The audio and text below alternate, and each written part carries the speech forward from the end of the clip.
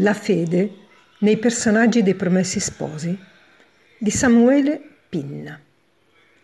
Il 22 maggio 1873, esattamente 150 anni fa, Alessandro Manzoni, nato nel 1785, tornava alla casa del padre.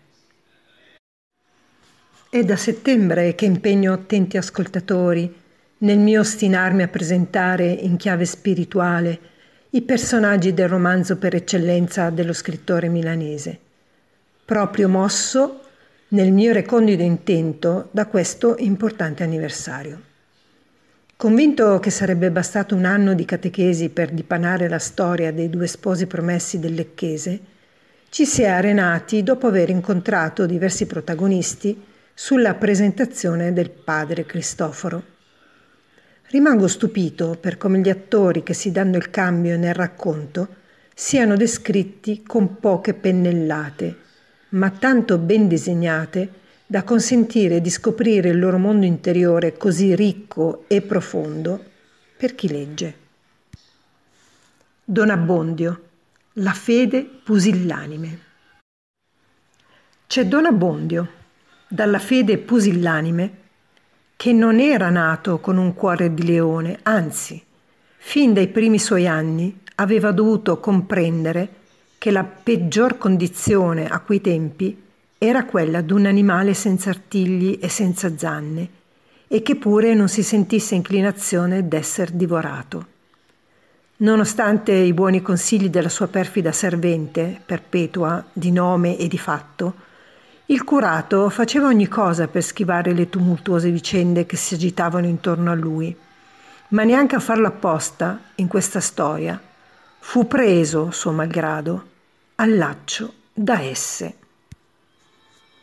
Renzo, la fede genuina. Lucia, la fede devota.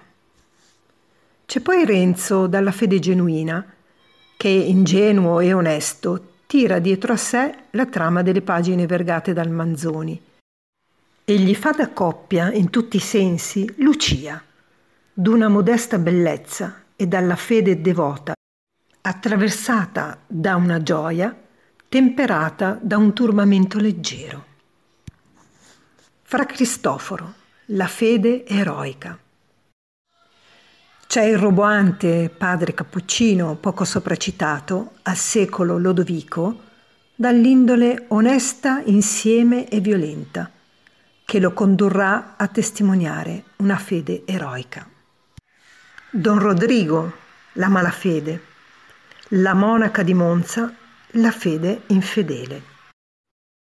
C'è Don Rodrigo, traditore e tradito, che esercita senza pudore una malafede e Gertrude, monaca per scelta altrui, di una fede infedele che soltanto alla fine di tutto l'intreccio letterario riuscirà a riscattarsi in una profonda conversione di vera religiosità. L'innominato, la potenza della fede. C'è la celebre figura dell'innominato che mostra la potenza della fede di chi si lascia toccare il cuore da Dio è quella insigne del cardinal Federigo, il quale fu degli uomini rari in qualunque tempo che abbiano impiegato un ingegno egregio, tutti i mezzi di una grande opulenza, tutti i vantaggi di una condizione privilegiata, un intento continuo nella ricerca e nell'esercizio del meglio. Donna Prassede, la fede cieca. Non manca donna prassede dalla fede cieca, una vecchia gentildonna molto inclinata a far del bene. Mestiere certamente il più degno che l'uomo possa esercitare, ma che purtroppo può anche guastare, come tutti gli altri. Il popolo, troppa fede o troppo poca. Altri interessanti soggetti si muovono sulla scena così come il popolino che agisce a volte con troppa fede e a volte con troppa poca. Il tutto ben ricamato in una delle opere più sublimi mai scritte da mano d'uomo. Il sugo della storia. Qual è il motivo per cui affascina la vicenda di due innamorati che non possono coronare il loro sogno? Perché senza nominare una sola volta Gesù, le pagine che li riguardano mostrano tutta la potenza dei valori insegnati dal Cristo. E sono proprio Renzo e Lucia a consegnare il sugo della storia che la voce narrante del Manzoni non ha dubbi a scegliere per concludere il suo scritto. La morale, benché trovata da povera gente, ci è parsa così giusta che abbiamo pensato di metterla qui.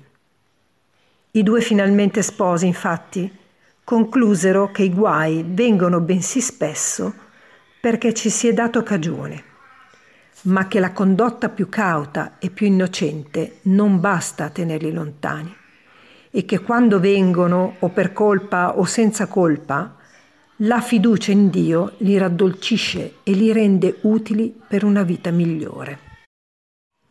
È assai probabile che possa iniziare la ricerca del lettore laddove finisce quella presentata dal Manzoni.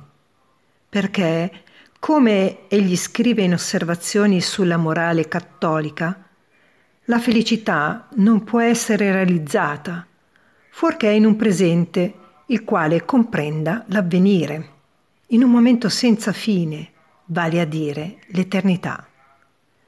Se non che la religione può darci una specie di felicità anche in questa vita mortale, per mezzo di una speranza piena di immortalità.